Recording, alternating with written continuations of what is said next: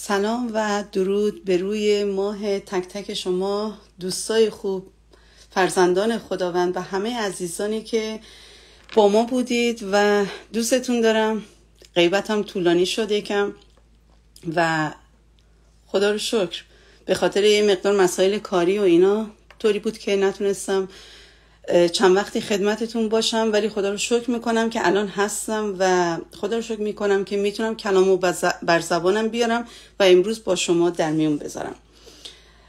روزها روزهای عید بود روزهای دید و بازدید بود. خدا رو شکر. امیدوارم که عید پر از برکت داشته بودید و عید خوبی رو گذرونده بودید و گذرونده باشید. یه مقدار جمله بندی ها یه وقتا برام سخت میشه. و خدا رو شکر امیدوارم که روزای خوبی رو کنار خانوادهاتون گذرونده باشید و خوب بوده باشه براتون. با شادی و خوبی و سلامت گذرونده باشید. خدا رو شکر. امروز و یه عید سال جدید و سال نو رو به شما تبریک میگم. سال نو رو به همتون و یه عید مبارکی باید خدمتتون می‌گفتم نتونستم بیام این مدت. واقعا سرم خیلی شلوغ بود. ولی خدا رو شکر می‌کنم. الان اینجا هستم و امیدوارم که سالی رو که شروع کردین سالی باشه که پر از برکت خداوند باشه براتون. سالی باشه که اونچه که خداوند براتون در نظر داره و اونچه که خداوند براتون در آسمان دیده بیاد بر روی زندگیتون بر روی جسم و جانتون و بر روی خانواده هاتون و بهترین های خداوند بشه براتون. حقیقتا امروز دلم خواست یکم در مورد همین از همین موضوع عید و نو شدن دلم می‌خواست که صحبتی با هم داشته باشیم. و خدا رو شکر می‌بینیم که از همین موضوع عید می‌خواستم یک چیز قشنگی رو که خداوند برای من خیلی زیبا بود عنوان کرد با شما در میون بذارم. زمانی که عید میشه همه ما به یه شور و هیجان خاصی میفتیم تازه میشه همه طرف. درختها سبز میشن هوا گرم میشه. شکل و قیافه هر طرف رو که می‌بینید داره عوض میشه و چیزی دیگه شبیه اون موقع ها و اون سرمای زمستون و اون روزهای زمستونی دیگه نیست و داره کم کم تبدیل میشه. و این چیزی که هر ساله رخ میده درسته؟ هر ساله این اتفاق رخ میده. هر ساله ما می‌بینیم و روزهای زمستون وقتی که تو خونه هامون هستیم و توی سرما و توی اون تاریکی زمستون هستیم ایمان و امید اینو داریم که بعد از چند وقتی بهار بشه و همه چیز تبدیل بشه. و این تبدیل شدن همیشه صورت می‌گیره و انقدر که انجام شده و تکرار شده برای همه ما عادی شده و همه ما این رو دیگه بی برو برگرد منتظرش هستیم و ایمان داریم که انجام میشه. خیلی قشنگه. واقعا خیلی قشنگه. حتی اون درخت های خشکیده ای که شاید توی باغچتون تو حیاتتون یا هر جایی که هستید و می‌بینید که ازش فقط یه چوب خشک مونده و به عبارتی در ظاهر انگار مرده اون گل یا گیاه. امید دارید و می‌دونید که این وقتی که بهار میاد وقتی که فصل عوض میشه این شروع می‌کنه به رشد کردن و سبز میشه و زیبا میشه و گل میده یا میوه میده. خدا رو شکر. خدا رو شکر برای این تازگی طبیعت خدا رو شکر برای این نو شدن ها و خدا رو شکر برای اینکه همونجوری که ما می‌دونیم هیچ چیزی تو این دنیا ثابت نیست. نه بدی ها سختی ها میمونه. و نه خوشی هایی که در این دنیا می‌بینیم ثابت میمونه. همه چیز تبدیل میشه و همه چیز آروم آروم عوض میشه. و این نو شدن و تبدیل شدن و این از شکلی به شکل دیگه در اومدن رو ما خیلی می‌بینیم. می‌دونین می‌خوام چی بگم؟ بگو اصلا چرا رفتی سر وقت این؟ از همین عید و نو شدن و تازه شدن الهام گرفتم تو با شما چیز رو در میون بذارم. دانشمند نیستم صد البته نیستم. یه اطلاعاتی دارم همونو باهاتون در میون می‌ذارم. و خیلی از عزیزان هستید که الان میشنوید یا بعدا خواهید شنید.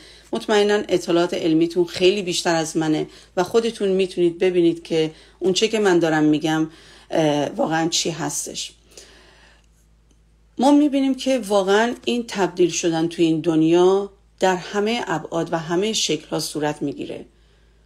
و به عبارتی توی یک قانون فیزیک یا شیمی اگه اشتباه قانون فیزیک باید باشه که میگن ماده از شکلی به شکل دیگه تبدیل میشه از بین نمیره.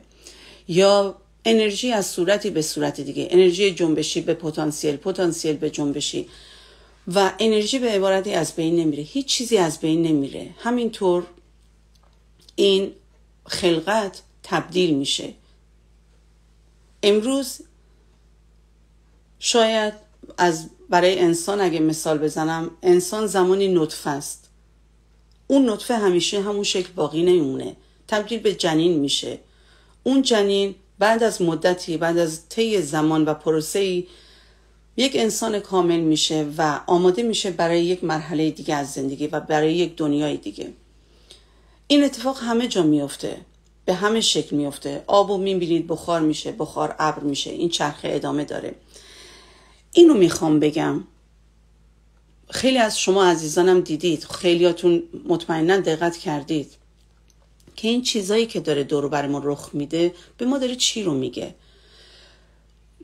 به ما اینو میگه و من این رو می‌فهمم که اون خلقتی که خداوند انجام میده از بین نمیره. اون بیسی که از ابتدا بود هست ولی اون هی تبدیل و تبدیل و تبدیل و تبدیل و به شکلهای دیگه و به شکلهای دیگه انجام میشه و حرکت می‌کنه. چیزی از بین نمیره. بذارید از این مقوله بیام بیرون. بذارید برم سر اون چیزی که دلم می‌خواد برم و از خداوندمون صحبت کنم. ما توی کلام خداوند خوندیم و دیدیم. توی یوحنا یک یک بذارید خود کلام بیارم و از خودم نگم که کلام شیرین تر از همه است و گویاتر از همه. توی انجیل یوحنا خیلیاتون حفظید دیگه این آیه ها رو.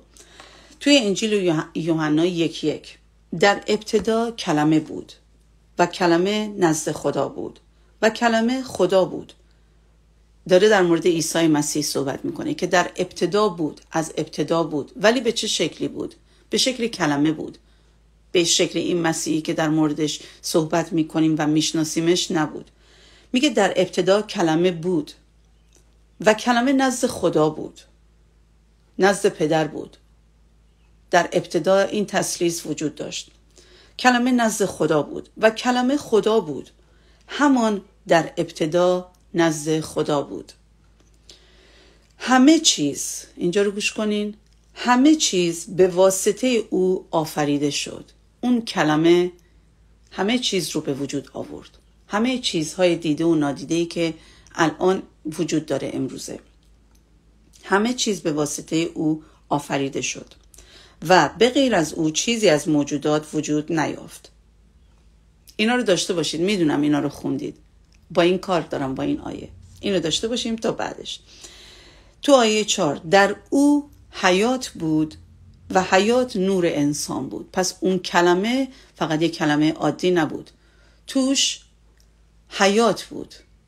اون کلمه توش حیات بود.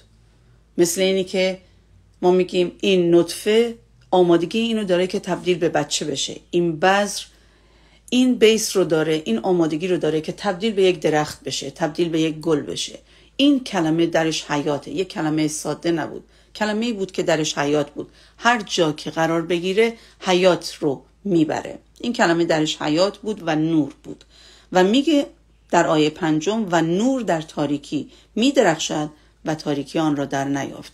اون نور اونقدر اونقدر درش قدرته اونقدر درش حیات و قدرت هست که هیچ تاریکی نمی‌تونه اون نور رو احاطه کنه و در خودش بگیره و خاموشش کنه و مانع از تابش اون نور بشه.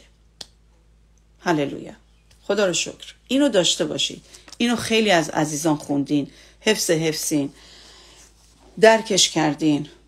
متوجه شدین که چی داره میگه. حالا می‌خوام از همین آیه استفاده کنم. خداوند زمانی در ابتدا به شکل کلمه بود و این کلمه در یک پروسه اومد و تبدیل به جسم شد و اومد روی زمین و ما دیدیمش.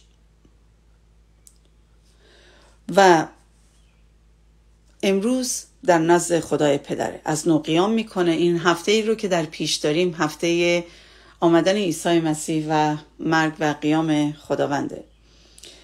و این اتفاق صورت می‌گیره. بعدا در این مورد بیشتر صحبت می‌کنم در مورد مرگ قیام خداوند. حالا ببینیم که اینجا چه اتفاقی افتاد.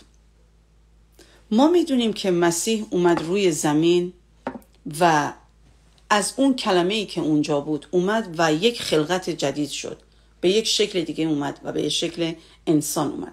حالا در جای دیگه کلام به ما چی میگه؟ می‌خوام اینا رو با هم بگیریم اول آیه ها رو بعد با هم دیگه به یک نتیجه برسیم. تو جای دیگه تو دوم قرنتیان می‌خوام اینجا رو داشته باشید. اینم می‌دونید دوم قرنتیان پنج 17 که هر کسی که در مسیح هست خلقت تازه تو آیه 17 میگه پس اگر کسی در مسیح باشد خلقت تازه است. چطور در مسیح باشه؟ کسی که مسیح رو میپذیره اینجا میگه که خلقت تازه آره این هست. ولی کسی که در مسیح باشه. بذارید می‌خوام یکم عمیق بشم تو این. اگر کسی در مسیح باشد خلقت تازه است. چیزهای کهنه درگذشت همه چیز اینک تازه شده. پس الان اینو می‌خوام با همدیگه یکم بریم عمیق بشیم. ما ایمان به مسیح میاریم. خب خدا رو شکر روح ما تازه میشه و کلام خداوند به ما میگه که شما خلقت تازه ای هستید. حالا که به مسیح ایمان آوردید. و همه چیزتون دیگه باید تازه بشه چیزهای کهنه دیگه درگذشت. یعنی چی؟ یعنی الان اگر من تا دیروز یک دانه بودم یک دانه گل بودم امروز این دانه از بین رفته. خداوند داره اینو الان به ما اینجا میگه کلام داره اینو به ما میگه. میگه آقا تو اگه تا دیروز اون دونه بودی که توی زمین بودی و هیچی نداشتی امروز اون دونه با ایمان بر مسیح با دریافت مسیح با بودن در مسیح با بودن در خداوند به یک چیز دیگه تبدیل شده به یک موجود دیگه توی دانه دیروز توی دانه خشکیده دیروز امروز تبدیل شدی به یک گل. دیگه اون آدم نیستی. دیگه اون چیزای کهنه نباید درت باشه و تو جای دیگه توی کلام به ما میگه. میگه که خلقت تازه هستید. شما دیگه اون آدم قبلی نیستید. ولی نگاه می‌کنیم می‌بینیم که خب پس الان پس من چرا این شکلیم؟ چرا پس یه چیزای کهنه در منه؟ درسته؟ خب این هستش. هممون می‌دونیم که دیگه این اتفاق میفته برامون و می‌بینیم که هنوز یه چیزای کهنه درمون وجود داره کهنگی هایی هست. اینجا خداوند اینو میگه. میگه شما در مسیح بمونید. ما زمانی که به مسیح ایمان میاریم مثل اون دونه ما یه دونه هستیم که در زمین مسیح در زمینی که درش حیات هست کاشته میشیم. در زمینی که این توانایی رو داره که ما رو تبدیل بکنه و از ما اون چیز و ماهیتی رو که در وجود ما نهفته هست رو بیاره بیرون. اگر گلم تبدیل به گل بشم. اگر درختم تبدیل به درخت بشم میوه بدم. ما اون دونه هستیم که در زمین مسیح کاشته شدیم و باید با آبیاری این کلام با آبیاری این کلام اون دونه شکسته بشه و ازش اون ماهیت اصلیش بیاد بیرون. هر ماهیتی که داره هر گلی که هست هر درختی که هست هر چی که هست اون باید بیاد بیرون. شاید خیلی از ماها تو زمین مسیح تو یک زمین خوب کاشته شدیم ایمان آوردیم به مسیح خدا رو شکر. تو اون زمین خوب تو اون جای درست قرار گرفتیم. این زمین این پتانسیل داره این قوت رو داره که ما رو به اون جایی که باید برسیم ببره به اون, به اون چیزی که در ما وجود داره ماهیتی که در ما قرار داده شده ما رو ببره و برسونه به اونجا. ولی هنوز ما درست رشد نکردیم. یا انقدر این دونه سخت داره پوستش کنده میشه سخت داره رشد می‌کنه. عوض اینکه مثلا میگم سه ماهه در بیاد و یه چیزی بشه یا یک ساله این بار بده این داره آروم آروم آروم آروم. حالا تازه یه ذره ساقش میاد بیرون. حالا تازه یه ذره مثلا یه برگ می‌زنه بیرون. می‌دونید چی میگم؟ زمینه خوبه. مشکل از زمینه نیست. زمین این پتانسیل داره این توانایی رو داره این قوت رو داره که ما رو تبدیل کنه. فقط باید آبیاری درست بشه. کلام آبیه که باید بیاد روش و ما رو آبیاری کنه و ما رو تبدیل کنه. بذارید بریم باز یه جای دیگه کلام رو بهتون نشون بدم. بذارید برم یه جای دیگه کلام بهتون نشون بدم و تو افسوسیان بریم. افسوسیان چهار بیست و سه. افسوسیان چهار بیست و سه. داره به ما میگه میگه به روح و به روح ذهن خود تازه شوید. ذهنایتون ذهنای خودتون رو تازه کنید. با روح خداوند. روح خداوند کجاست؟ از کلام خداوند. روح خداوند کار می‌کنه. میگه با این کلام ذهناتون رو تازه کنید. اجازه بدید که ازتون در بیاد اون چیزی که خداوند براتون در نظر گرفته. تازه کنید خودتون رو و به صورت خدا در عدالت و قدوسیت حقیقی که آفریده شدید اون رو بپوشید. پس به روح ذهن خود تازه شوید و انسانیت تازه رو که به صورت خدا در عدالت و قدوسیت حقیقی آفریده شده بپوشید. چاره ای نداریم راه دیگه ای نداریم راه دیگه ای قرار داده نشده تا جز اینکه از این کلام استفاده کنیم از این کلام استفاده کنیم و با اون تبدیل و تازه بشیم. همه ما تازه شدن رو دوست داریم. چقدر خوشحال میشیم وقتی که بهار میشه وقتی که گلهای خوشگل در میاد. وقتی که همه چیز تازه میشه و تبدیل میشه حال هممون خوبه. خوشحال میشیم. دلمون می‌خواد. خودمونم همینطور. اون انسانیت کهنه دیگه نباید در ما باشه. خداوند میگه خداوند جای دیگه در کلامش میگه شراب تازه رو توی مشک کهنه نریزید.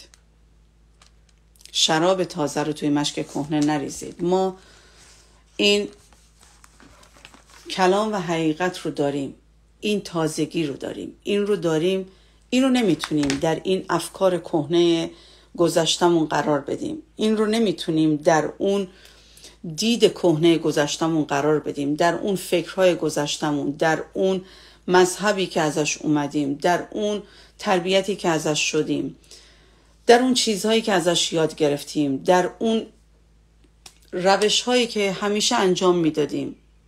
اگه یکی یه حرف می‌زد این عکس رو انجام می‌دادیم. اگر در یک موقعیتی قرار می گرفتیم که واکنشمون به یه شکل خاص بود نمی‌تونیم این کارو بکنیم. واقعا نمی‌تونیم این کارو بکنیم. خداوند میگه شراب تازه رو توی مشک تازه بریزید. باید مشکمون تازه بشه. نمی‌تونیم همونا رو داشته باشیم. همون وضعیت قبل رو کیپ کنیم تو خودمون نگه داریم تو خودمون و بگیم که خب حالا مثلا من این قسمت از کلامو می‌گیرم و باهاش زندگی می‌کنم فقط همین یه تیکر رو می‌گیرم ولی می‌خوام همون جایی که هستم باشم. کار نمی‌کنه. بیایم بیرون. از اون چارچوب هایی که درش قرار داشتیم بیایم بیرون. از اون چیزهایی که یاد گرفتیم. همه ما به یه شکلی تربیت شدیم که می‌دونم دوستش نداشتیم. واقعا دوستش نداشتیم. طورای بزرگ شدیم که دوستش نداشتیم. چیزایی رو چون بیسی که درش تربیت پیدا کردیم بیسی که ما رو تربیت دادن و ما رو آموزش دادن بیس خوبی نبود. یه چیزای خوبی داشتیم. ولی چیزایی بود که از اون دید مذهبی و از اون دید بسته می اومد و ما رو همونجوری شکل داد. این خمیر ما رو سفت کرد. این ظرف ما رو اونطوری ساخت. این ظرفا رو باید بشکنیم و از اون وضعیت بیایم بیرون و این مشک تازه رو توی این شراب تازه رو تو مشک تازه بریزیم. خدا رو شکر. دلم می‌خواد یه آیه دیگه براتون بگم توی کولوسیان بذارید اینم قشنگه حیفه که نگم براتون. تو کولوسیان سه ده.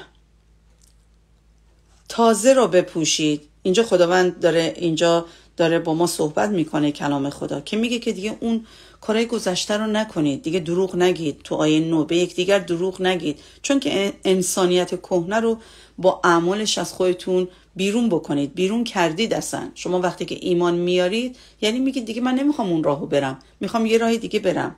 تازه شده. نمیشه که بهار اومده باشه و فکر کنید همه جا آفتاب داره میدرخشه. گل و گیاه و تازگی و تمیزی و بوی خوش و بعد من پاشم برم همون لباسای زمستونی تنم بکنم و همونجوری در خونه رو ببندم. بخاری خونم زیاد باشه. همونجور خونه خفه بشه از گرما و نفس نتونم بکشم. کار نمی‌کنه. ما همون بلا رو سر خودمون میاریم توی ایمان مسیحیمون. اومدیم بهار شده عوض اینکه این در و پنجره رو باز کنیم هوای تازه بیاد بوی خوش بشنویم لباسای شادمون رو بپوشیم و زندگیمون رو تازه کنیم خونمون رو یه هوای تازه بهش بدیم و سرزنده بشیم با نشاد بشیم هنوز سعی می‌کنیم کلاه رو سرمون کنیم. هنوز سعی می‌کنیم لباس های زمستونی رو ترمون کنیم و بشینیم تو خونه و بچسبیم به بخاریمون بگیم نه نه من از این نمی‌تونم جداشم و می‌خوام هنوز کنار این باشم. نمی‌تونیم این کارو بکنیم. خداوند میگه که نکنین این کارو. اون چیزای کهنه رو بذارید کنار. به یکدیگر دروغ نگید تو آیه 9 و دهش. چون که انسانیت کهنه رو با اعمالش از خود بیرون کرده اید. وقتی که ایمان میارید دیگه اونا رو ریختین کنار دیگه. دیگه قبول کردین که دیگه اون به دردت نمیخورده کار نمی‌کرده. اونو ریختین کنار. حالا اومدین لباس تازه پوشیدین انسانیت تازه رو پوشیدین و در آیه میگه تازه رو پوشیده اید که برای چی این تازه رو پوشیدیم؟ این تازه چیه؟ این چیزیه که کلام خدا قدم به قدم به ما داره میگه. میگه اینو پوشیدین برای اینکه به شباهت و به صورت خالق خودتون در بیایید تا به معرفت کامل تازه تا به معرفت کامل به شکل خالق خودتون بیایید بیشتر حقیقت رو درک کنید. بیشتر بدونید که اصلا کی هستید برای چی اومدید کجا دارید میرید و بیشتر شبیه خالق خودتون بشید. پولس به ما چی میگه؟ میگه آقا این جسمای شما اینایی که هست الان می‌بینید این که تا ابد باهاتون که نیست که. اینم یه روزی همینجا می‌ذارید میرید. همون که اون جنین یه روزی اون کیسه آبشو پاره کرد و اومد بیرون از اون دنیای بسته که درش قرار داشت و همه حیات و زندگیشون تو بود به مادر وابسته بود. جنین از تو اون اومد بیرون. حالا شاید درکی نداشت نمی‌دونست. شاید یک چیزایی از طریق مادر از بیرون به توسط مادر میشنید. و حالا من دارم میگم من علمی نمی‌دونم. شاید دانشمندا چیزایی رو از انکاسات مغز جنین فهمیده باشن که اون چقدر از عالم بیرون درک کرده یا نه. من اینا رو نمی‌دونم. ولی می‌دونم که جنین از بیرون یک چیزایی رو میشنوه متاثر میشه درک می‌کنه. ولی خیلی براش مبهمه که این چیزهایی که داره میاد چی هست یا چی نیست و نمی‌دونه. واقعا شاید چه چیزی اون بیرون داره میگذره. و زمانش تموم میشه و میاد بیرون و میاد بیرون و زندگی جدید نفس باید بکشه. دیگه از طریق مادر نمی‌تونه تغذیه بشه اکسیژن بگیره غذا بخوره. باید بیاد بیرون نفس بکشه خودش غذا بخوره. دردها و رنجهایی داره. و این اتفاقی که بر ماها افتاده. و باز هم این پروسه تبدیل ادامه داره. این نو شدن و تازه شدن ادامه داره و همونجوری که پولس میگه میگه که زمانی می‌رسه که ما خداوند رو ملاقات می‌کنیم و این جسم های خاکیمون رو اینجا می‌ذاریم و جسم های جلال یافتمون رو میپوشیم و با خداوند تا به ابد زندگی خواهیم کرد. همونطوری که عیسی مسیح زمانی از همون ابتدا و ازل به شکل کلام بود. به شکل کلام بود. و اومد روی زمین به شکل جسم و عیسی مسیح ما رو دیدیم و امروز در نزد پدر آسمانی هست. ما هم این اتفاق بر ما خواهد افتاد و به حضور پدر خواهیم رفت. حالا حرفم چیه اینجا؟ این نکته دیگه ای که دلم می‌خواد بهش اشاره بکنم. این حیات این حیات همه چیز به واسطه کلام آفریده شد درسته؟ پس این حیات وجود داره در این دنیا. اینجا هست. هر جایی از زندگی همه چیز به واسطه خداوند خلق میشه همه چیز به واسطه او آفریده میشه. اوه که درش حیات و نوره و همه چیز رو به وجود میاره. حالا هر جایی از زندگیمون در روی زمین چه به شکل جسمانی فیزیکی چه به شکل روحانی. مثلا اگر سلامتی وجود نداره در من اگر در امور مالی من مشکل هست اگر در امور روانی و روابطی من مشکل هست اگر در امور روحانی من مشکل دیده میشه اگر در هر جا در هر بود زندگی ما انسان ها من دارم در مورد انسان ها الان صحبت می‌کنم. اگر در هر بود از زندگی ما چه جسمن چه روحن چه روانن هر مشکلی که دیده میشه اون چه که دنیا رو خلق کرد و حیات بود و کلام بود و نور بود امروز نیز وجود داره.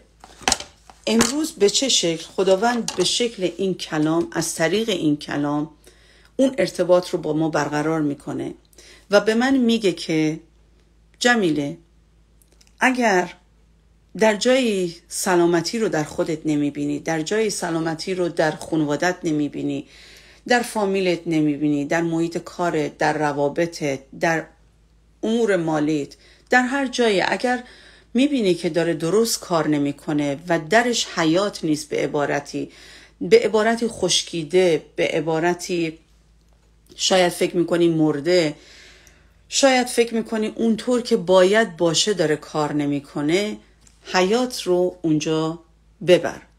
حیات رو ببر. این کلام رو اونجا ببر. خداوند برای سلامتی ما کلام داده وعده داده حیات داده از تو کلامش.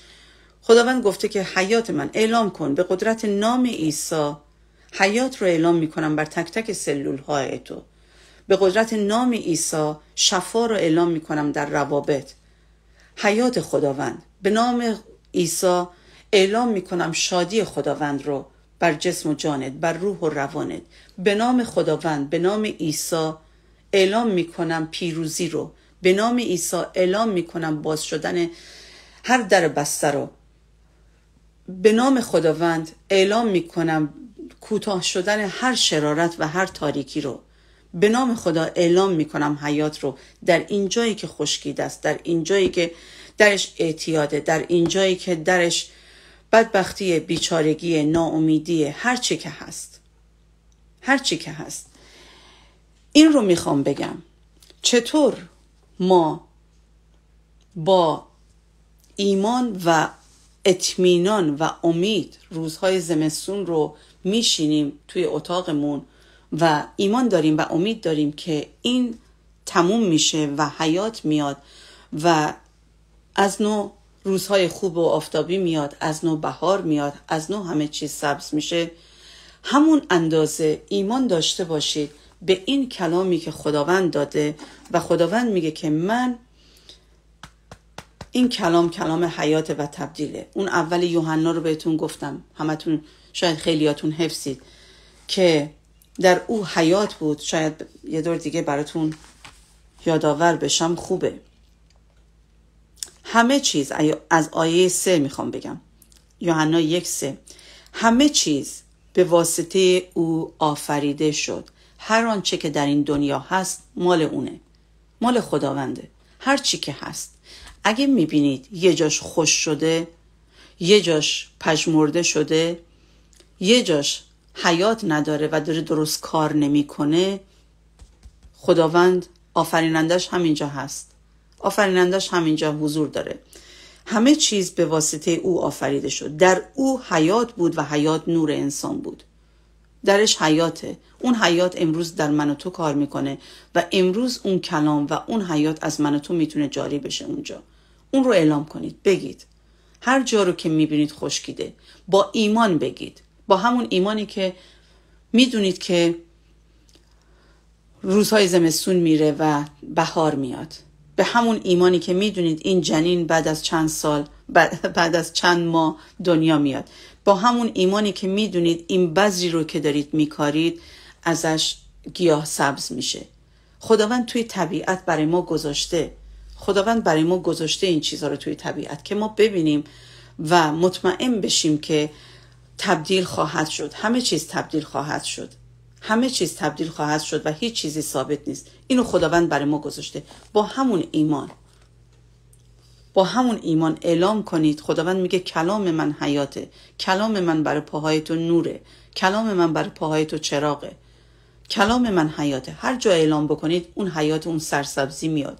اون بهار و تازگی میاد و اون تبدیل صورت می‌گیره. می‌دونید؟ خدا رو شکر می‌کنم برای کلام خداوند.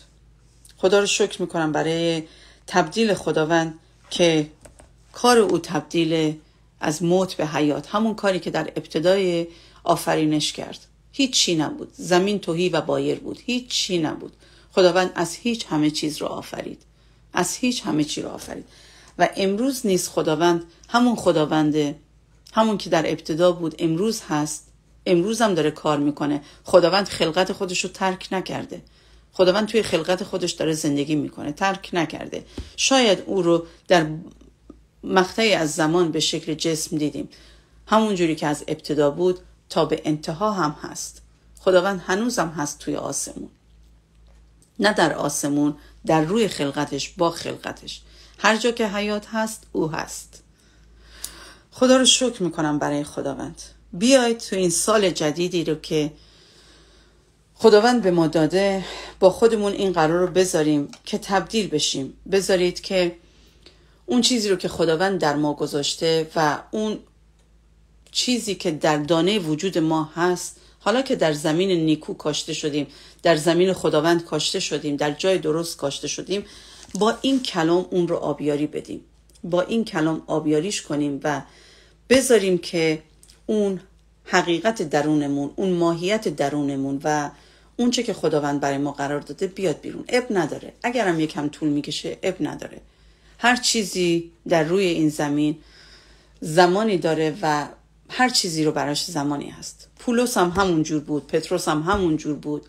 همه انبیای خداوند همون جور بودن. وقتی کلام خداوند رو می‌خونی چه تو عهد عتیق چه تو عهد جدید هم حتی نگاه می‌کنی رسولان رو هیچ کدومشون آری از اشتباه نبودن هیچ کدومشون پرفکت نبودن کامل نبودن. از ابتدا اون کاملیتشون رو نداشتن. همشون داشتن آروم آروم قدم برمی داشتن ولی مهم اینه که ما بخوایم قدم برداریم و مهم مهم و مهمتر اینه که بدونیم که شراب تازه رو این شراب تازه رو توی مشک کهنه نمی‌تونیم بریزیم.